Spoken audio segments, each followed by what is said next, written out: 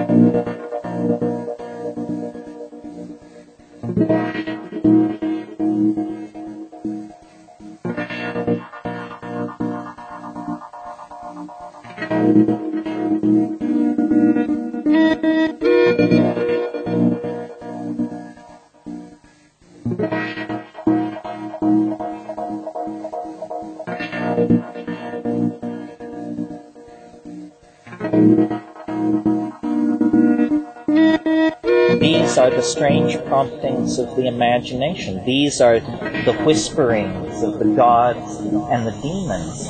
Now, most intelligence that has arisen in the universe, even if we imagine the universe as just an ocean of intelligence, most of it is too old, too, too to the right or too to the left for us to even be able to cognize as intelligence. You know, termites don't talk to gods. Bacteria don't talk to UNIVAC. Uh, you, you, to have an I-thou relationship, you have to at least be in the same general universe of shared assumptions. So out of all the noise that drifts between the stars and galaxies, the endless depth of chatter that moves between the minds in non-local space, every organism, every intelligent species tunes to the voices that can be understood. Not understood clearly, but simply understood to be, aha, that is a distant station speaking in a foreign language, but it is a language, uh, like that.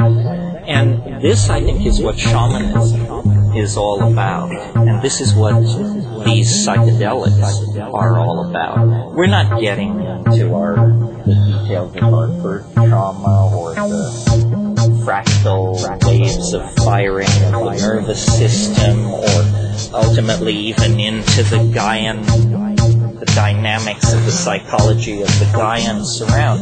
Ultimately, what we're touching is the invisible, all pervasive intelligence that surrounds us and penetrates us and uh, and indeed informs our religions, our philosophy, our myths, our our dreams.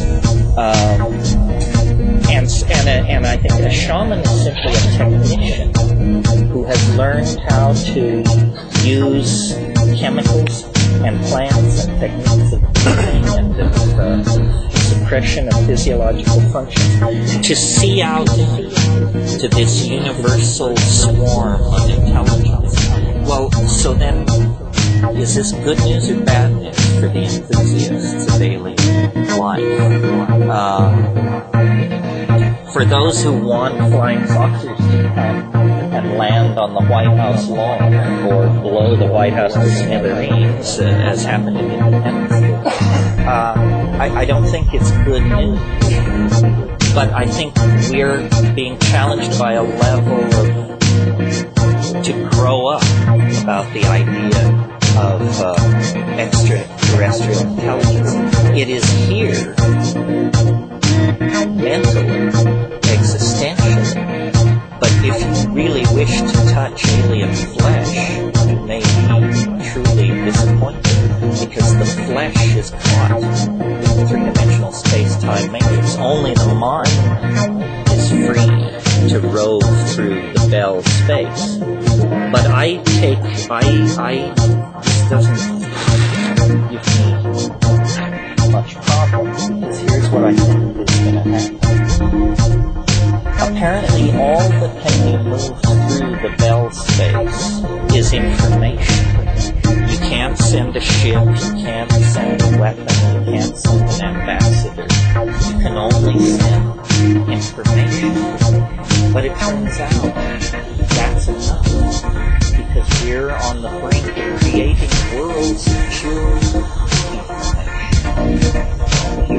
in all the science fiction, B science fiction movies of the 50s, there was always stress on the concept, of the landings We must build the landing zone. We must find the landing zone. This was somehow very important, this idea of preparation. And every flying saucer cult in Southern California and beyond it has a, is doing bake sales to build the landing site. And there are some already built in the Mojave Desert. Well, so what is this?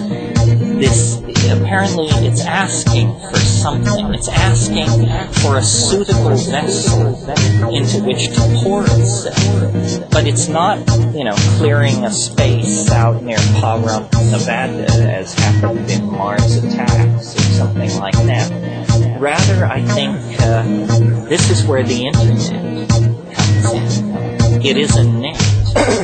it is a net that could be used to catch very big game indeed. And where does the alien come from? Well, the only oscillators that can connect to it are human mind. But from the human mind to the human hand to the keyboard to code VRML to produce virtual realities which we call alien-like because we think we're building them until we build them and build them and build them and eventually discover they have exceeded our our design parameters. They have exceeded our own ability to imagine what alien means, and yet they're still unfolding and exfoliating. So this is where I think the alien intelligence will come from. It is alien, but it is within cannot be disentangled from things because the only instruments sensitive enough to download this information are inspired human imaginations. And there will always be a residuum of projection, a, a, a, a part of ourselves that is part of the alien. But eventually, I think, and remember, we're talking a million years here, so I don't have to sound like a street corner prophet. Eventually, we're going to use, uh, there will be a real shamanism, a new shamanism, a shamanism practiced in the full light of science and in the full light of a global data processing capacity.